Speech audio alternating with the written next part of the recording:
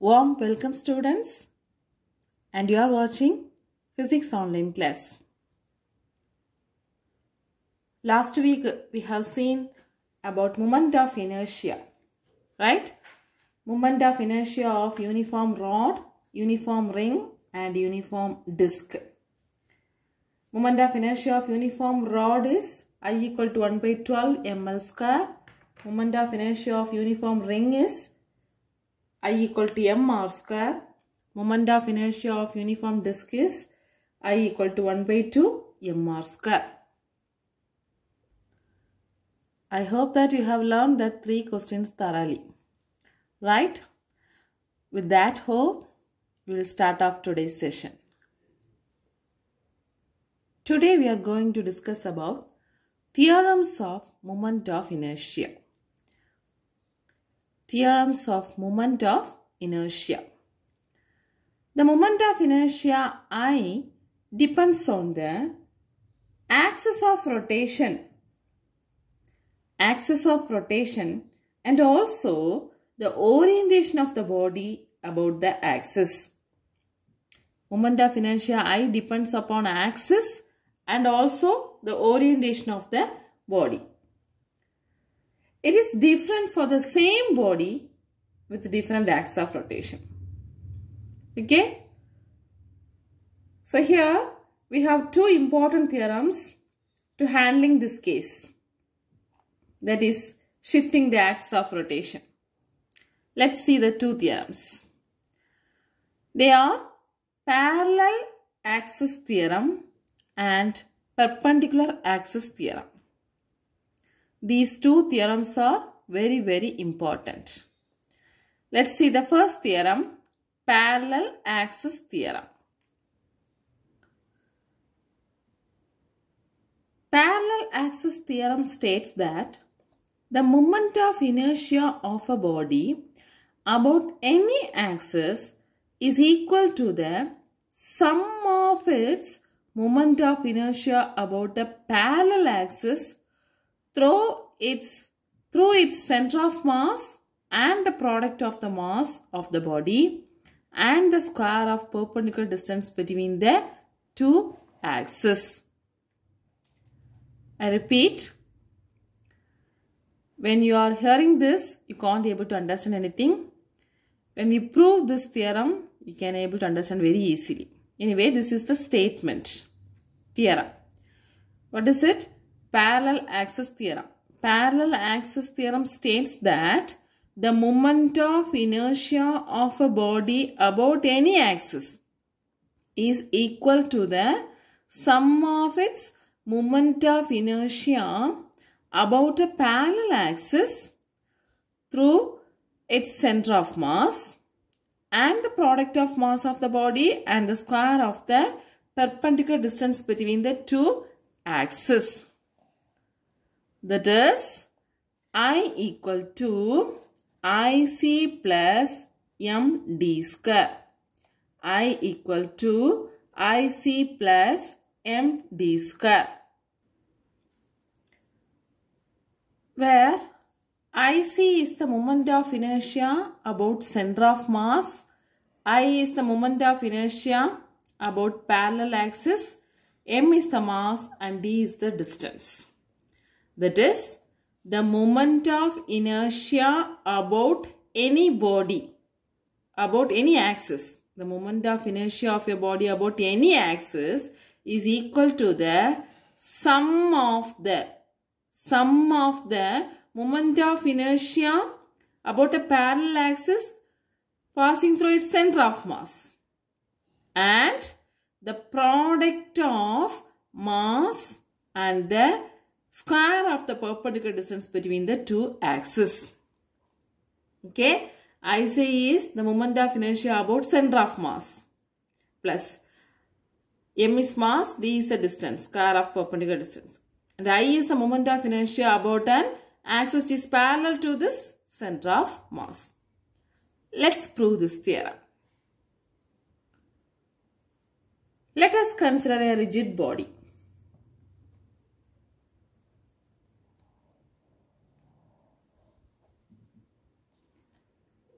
Okay. Here, this is the center of mass point.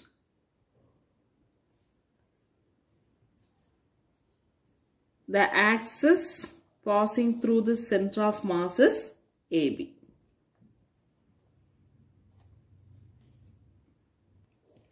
Moment of inertia about this axis that is about the axis AB is considered as IC. Okay. Now another one axis which is parallel to this AB. So you can consider this is the axis that is DE. DE is the axis which is parallel to this AB. Okay, at a perpendicular distance D. So distance between these two axes is D. This is the center C. The moment of inertia about this DE axis is considered as I. So our aim is to calculate the moment of inertia about an axis DE. Okay. So we attempt to get an expression for I in terms of IC. So a rigid body we have considered in that AB is the axis which is passing through the center of mass that is center point. So the moment of inertia about this axis IC and we have considered a parallel axis which is parallel to this AB that is DE which is at a distance D from AB. So moment of inertia about this DE axis is considered as I. Okay. In order to obtain the expression for I, first we have considered the point mass M on this body. That is, this is a point mass having the mass M. Okay, at the position P, which is at a distance x from the center of mass. So the distance between the center point and the point mass is x. Okay. Now, we are going to write the moment of inertia. So, what is the moment of inertia formula? I equal to product of mass and the square of the distance. Isn't it? Distance of the point mass. So, we can write the expression for moment of inertia of the point mass about the axis DE about the axis DE, what is the moment of inertia of the point mass? That is nothing but I is equal to product of mass and square of distance. So mass is m. What is the distance between this point mass and this axis? d plus x. Am I right? So d plus x the whole square. Where? So the moment of inertia. Moment of inertia of the point mass about an axis DE is that is I is equal to m into the distance is x plus d or d plus x the whole square. Okay. So for a single mass we can write m. But for the whole body, whole body about this DE, we have to give the summation of the expression. Am I right? All the point masses means we should use sigma. That is, I is equal to, this is for point mass, this is for whole body. I is equal to sigma m into x plus d the whole square. This is for whole body. Let's simplify this equation. That is, further this equation can be written as I is equal to sigma m into a plus b the whole square. is equal to a square plus b square plus 2ab. So, x square plus d square plus 2xd. Right? So, sigma into mx square plus md square plus 2mxd. Right? Now, we can write separately sigma mx square plus sigma md square plus sigma 2dmx. Am I right? That is sigma mx square plus sigma md square plus 2d into sigma mx. d is the constant so we can take it as outside so, so 2d into sigma mx. So this is the value of i. Here what is sigma mx square? The moment of inertia about the center of mass. Look at the figure.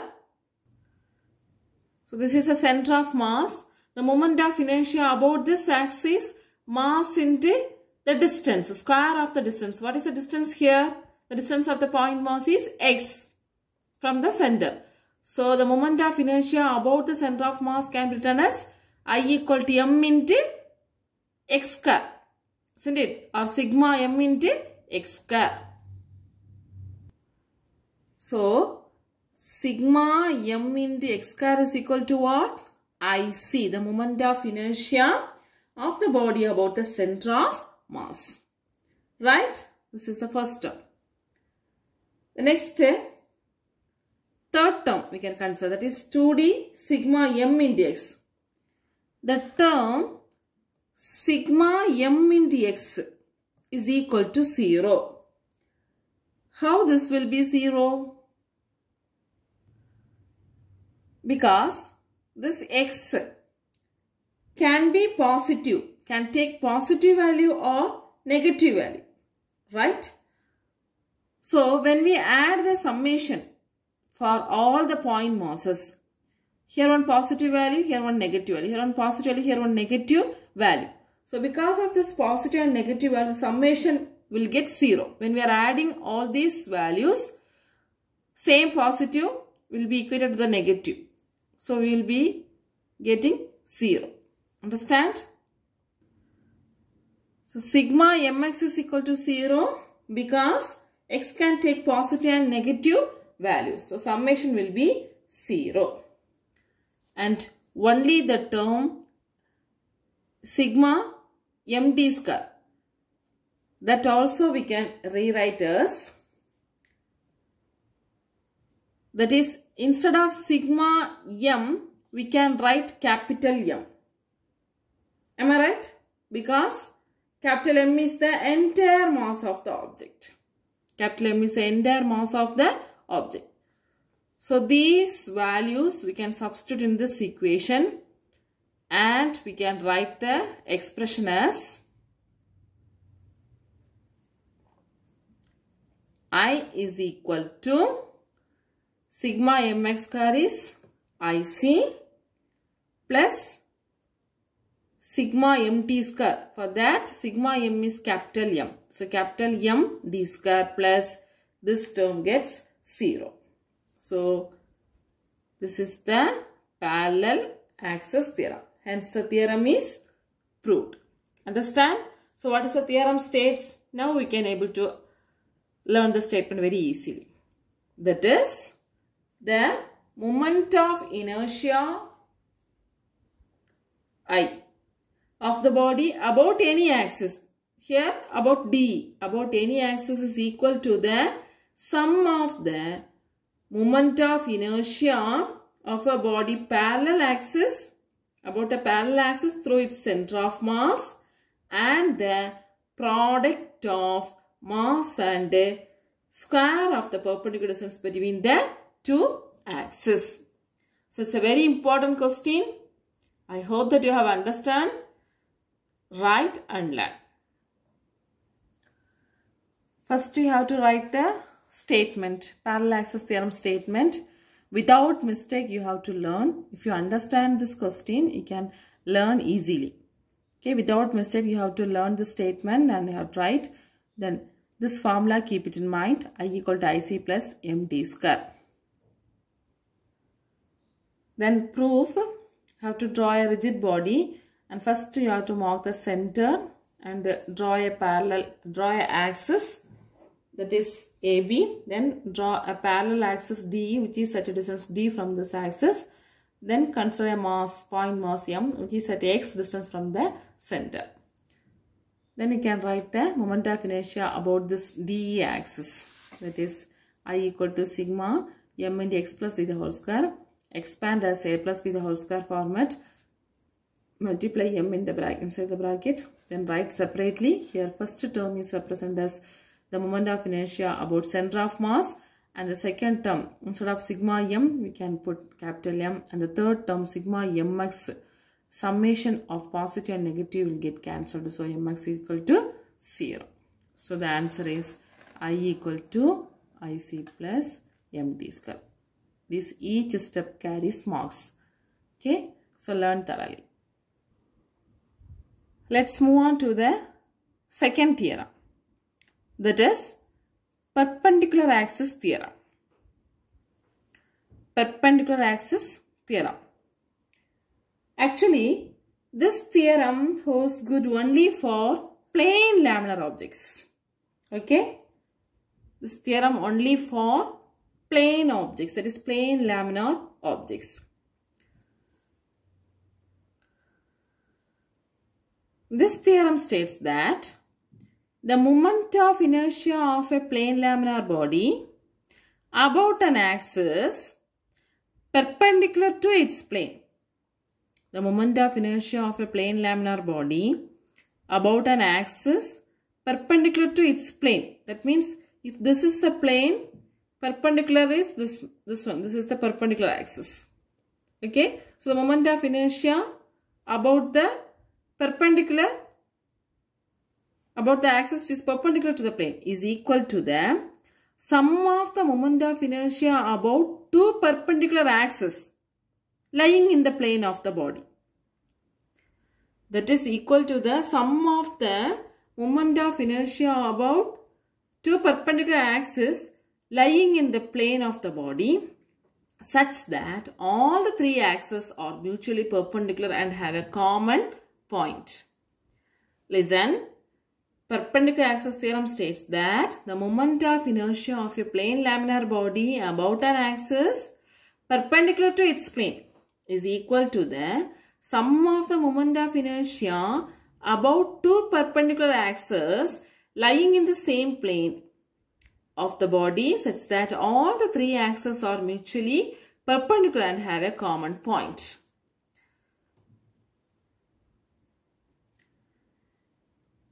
When we prove this theorem, the statement can be very clear to you. Okay? The theorem can be written as Iz is equal to Ix plus Iy. Iz is equal to Ix plus Iy.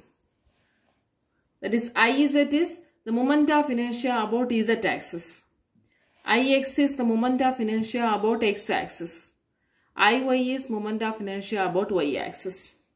That means let x and y axis lie in the plane. This is considered as a plane. So this is x axis and this is y axis. Okay. So if this x and y are lying in the plane, then z axis which is perpendicular to this plane. That is perpendicular means this is the perpendicular direction. Am I right? This is the this is the perpendicular direction. We cannot draw in the space. So we can draw in this direction or this direction z axis. Okay? Or else if this is x axis, if this is y axis, both are lying in this plane and z will be perpendicular to this x and y. So where iz is the moment of inertia about z axis. Ix and Iy are the moment of inertia about x and y axis. These two are lying in this plane and this is the perpendicular to this plane. So we can write the theorem as Ix, Iz is equal to Ix plus Iy. Okay, so the moment of inertia about any axis perpendicular to the plane is equal to the sum of the moment of inertia about the two perpendicular axes which are lying in the same plane such that the three axes have the common point. Let's prove this theorem. Let us consider a plane laminar.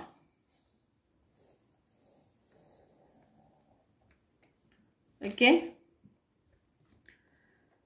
Here an object O of negligible thickness is placed on the origin. Okay, let us consider a plane laminar object of negligible thickness which lies on the origin. X and Y are in the same plane. So we can draw, this is the x-axis. This is the x-axis and this is the y-axis. X and y axis are lying on the plane. So z axis which is perpendicular to this plane. So we can draw the z axis here. This is z. Here this lamina is consisted of many masses, many point masses. So first we can choose one point mass. Isn't it? So lamina is considered to be made up of large number of masses, particle of masses m. First we can choose the one point mass that is located at a point P. So this is the point mass at the position P. Okay. Which is at a distance r from the origin. R from the origin. Now this point has a coordinate as x comma y. From uh, that is this is the point. Here the distances. This is the x distance and this is the y distance. This is the x distance and this is the y distance. So we can write this is the x comma y coordinate. Right? And which is located at a distance r from the origin. Clear? laminar, x-axis, y-axis, z-axis, one point mass is considered that is located at point P and which is at a distance r from the origin. And this has the coordinate x and y. Let's write the moment of inertia. That is, the moment of inertia about the z-axis. Iz is equal to what? Mass into square of the distance. So, mass is m. What is the distance here? The ma point mass is at a distance r from the z-axis. So we can write Iz is equal to m r square. Isn't it? That is the moment of inertia.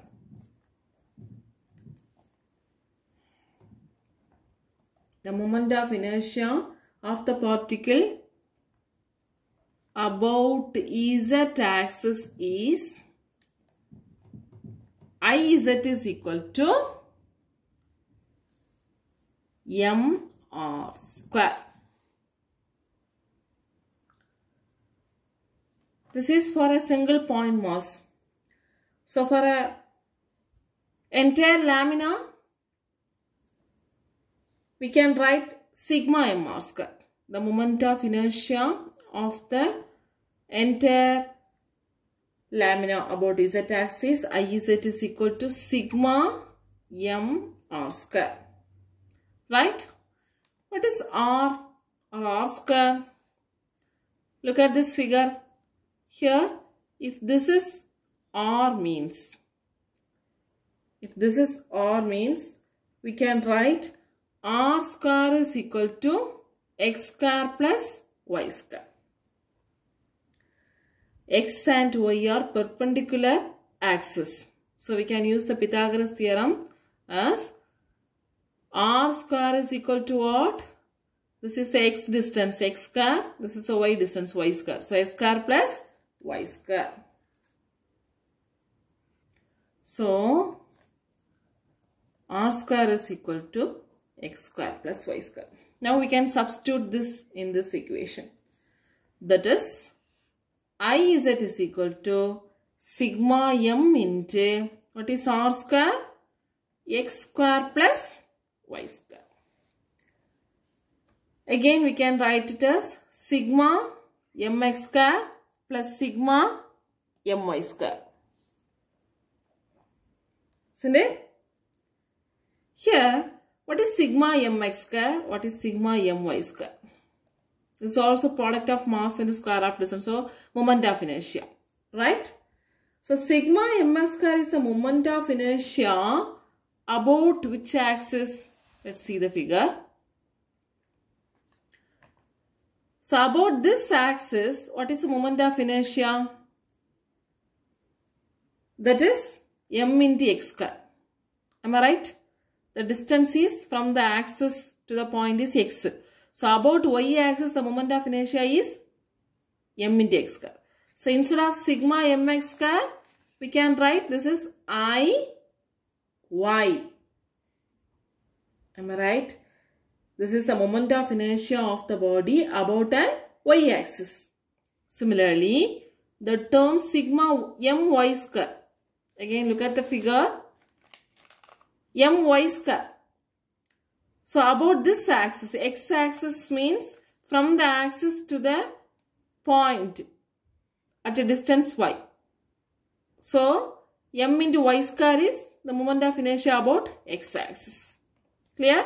So sigma my square is equal to ix. That is the moment of inertia about x-axis is sigma my square moment of inertia about y-axis sigma m x square.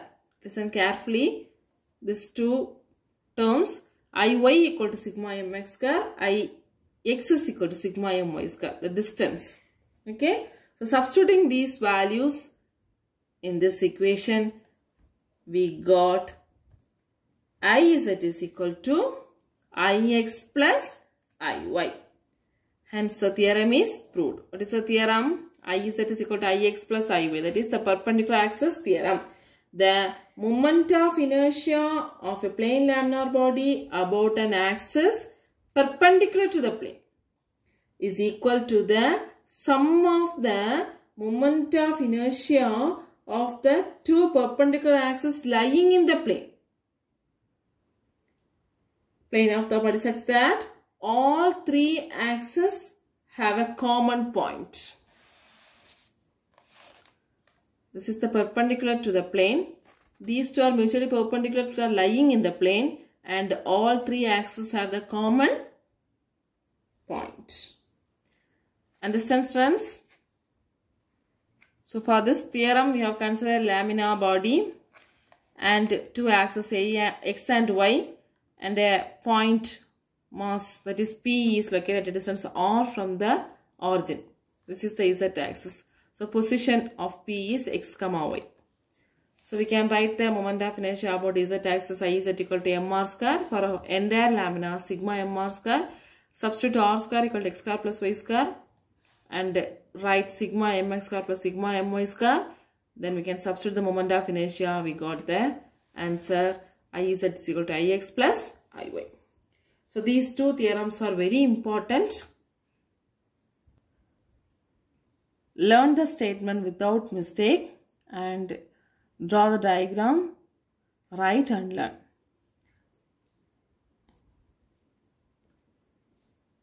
In your book, page number 262.